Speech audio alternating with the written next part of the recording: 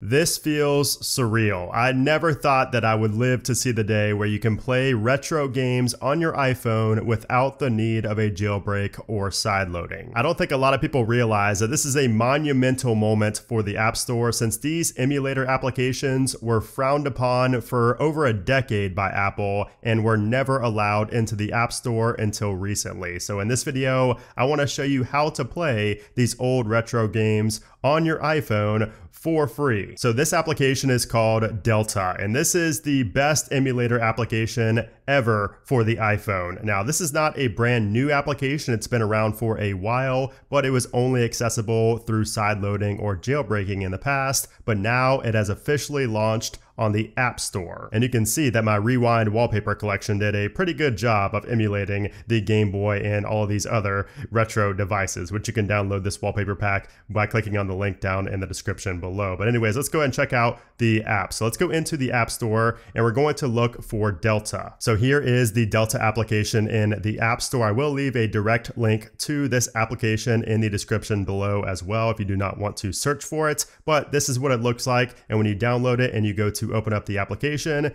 this is what you will see. So you're just going to see most likely a blank screen unless you had, uh, you know, ROMs already downloaded previously, which you likely have not, but this is what you see. So it's going to be categorized by Game Boy Color, Game Boy Advance, and so on. You can see up top. Now the supported game systems as of now are NES, SNES, Nintendo 64, Game Boy Color, Game Boy Advance, and Nintendo DS. However, the developer has said that more game systems are on the way. Okay, so I'm gonna show you how to download games first, and then I'm gonna go through some of the important settings that you need to know within the Delta application afterwards. So the first thing you need to know is that you're going to be downloading ROMs, not games. So ROMs are these special files that contain the game's data. So just, you know, kind of just keep a mental note to always refer to these as ROMs and not games. So you're not downloading, you know, large size full games. Most of these files are going to be under 100 megabytes. A lot of them are going to be even below 10 megabytes. And there are many ways to get ROMs imported into the Delta application. The tool that Delta recommends is GB Operator, which lets you convert your cartridges to ROMs to play on your computer or your iPhone. However, that is a paid solution, and that's something that really only you know enthusiasts are going to do. So the most common way and the way you're most likely going to want to download and import these ROMs is just through a simple Safari search and download. Now, once you do download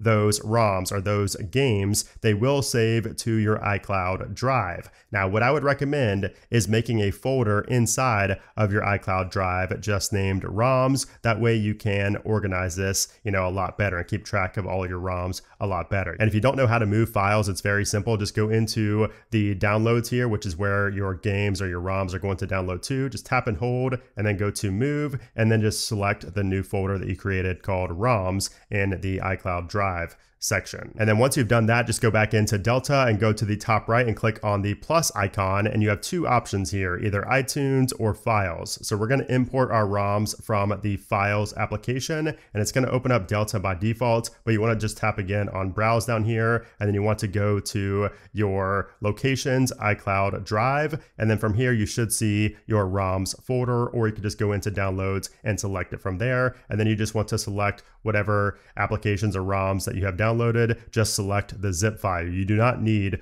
to unzip those files. Keep them as zip files and then just tap on open and it will auto import them and auto categorize them by the game system. And some of these will come with the artwork, but some will not. So you can see down here, we have Super Mario Bros. Deluxe, which did not come with any artwork and it looks really bad down there. So to change that, just simply tap and hold on the game and you can go to change artwork. Now from here, you have multiple different options, but what I would recommend is just to go to games database. And then from here, you just want to search whatever game it is. So Super Mario. And if you ever forget what the exact name of the game is, you can just swipe down here to see a preview of it. So this is for the Game Boy Color. So there we go. It looks like it's right here. So simply tap on that and it will auto load it in there. And now you have the artwork for that game. And the same goes with renaming as well. Sometimes you will see some extra, you know, characters added in there. Like for GoldenEye, for example, you can just tap and hold and go to rename and you can remove the excess you know, you and the exclamation point there or whatever may be included in the download file. So that is how you can download and import your ROMs into the Delta application. So now I want to cover some of the important settings that you need to know within Delta and also how to change your skins and all of that. So first off, let's go to the settings. So the settings is going to be up here in the top left-hand corner. And from here, you have multiple different settings. So first off, you can choose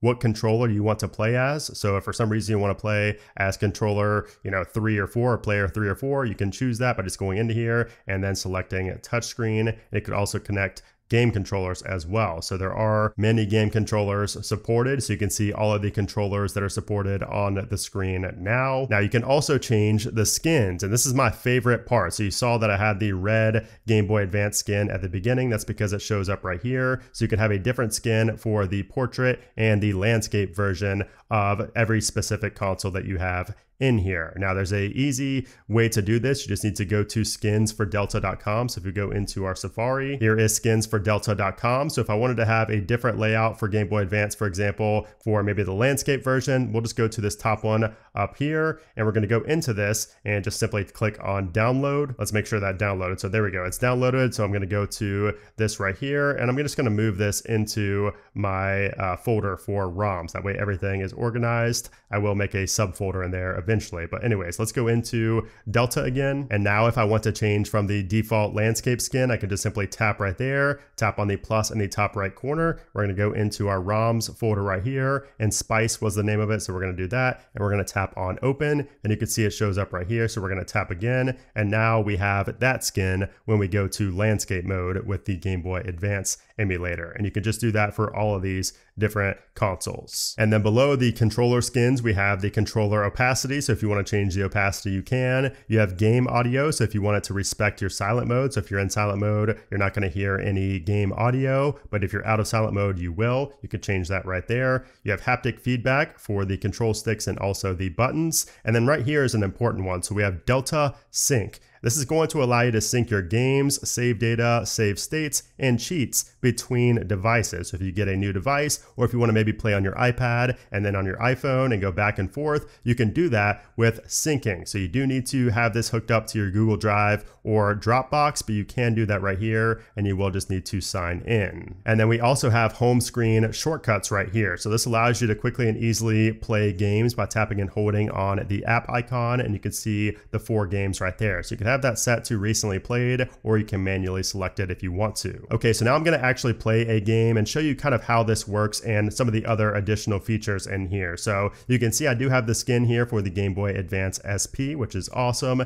You can see all the buttons here, including the turbo button down there. Now, if we go to menu, you will notice that we have a few options here. So we have save state. So there are save states in this. So you can save your game and also load your game at a future date. And then we also have cheat codes. So if you are into cheat codes, you can add those there by clicking on the plus up in the top right. And you can use Action Replay, Code Breaker, and also Game Shark codes. And then if we go back, we have fast forward, which is a must if you play Pokemon. So what this does is it just runs the game at a faster pace. So it's much, much better to play Pokemon because you don't have to sit there and tap A for 10 minutes on the long dialogue scenes. So fast forward is a great feature. And then we also have hold buttons. And you can see when you press that, it says select buttons to hold down. So what this does is it basically allows you to keep specific buttons held down so that you can have your fingers free to press on additional buttons. Like for example, if you're playing a racing game or Mario Kart, you can hold down on A. You can press A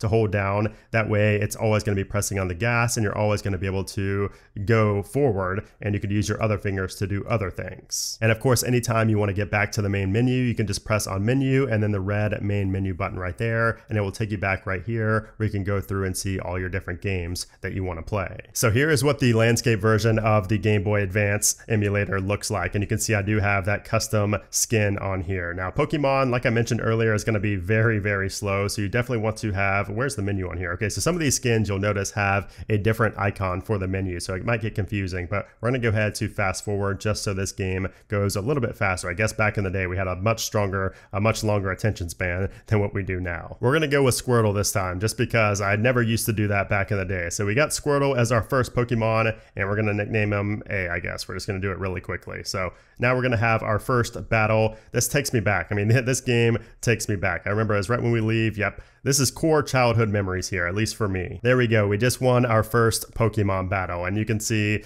I'm going to be on this all night. I can already tell. Apple Vision, what? Uh, I'm playing Delta all night. But anyways, guys, there you have it. That is Delta. That is the new emulator application available now on the App Store. It is awesome. Check it out. I will leave it linked down in the description below. Oh, and if you're wondering if this works on iPad, it does work on iPad, but it's not going to be the full screen. So you can see you have it like this by default, but you can tap to zoom right there. And you can also play it in portrait mode. I think it's better in landscape mode though. So not bad. It actually looks good resolution wise for being a non-native iPad application. Anyways, hope you guys enjoyed this video. If you did, I would appreciate if you gave it a thumbs up. Also be sure to subscribe in case I do any future updates on Delta. And if you just want to see more iPhone and iOS videos, make sure to hit that subscribe button down below. But anyways, guys, thanks again for watching and I'll see you soon.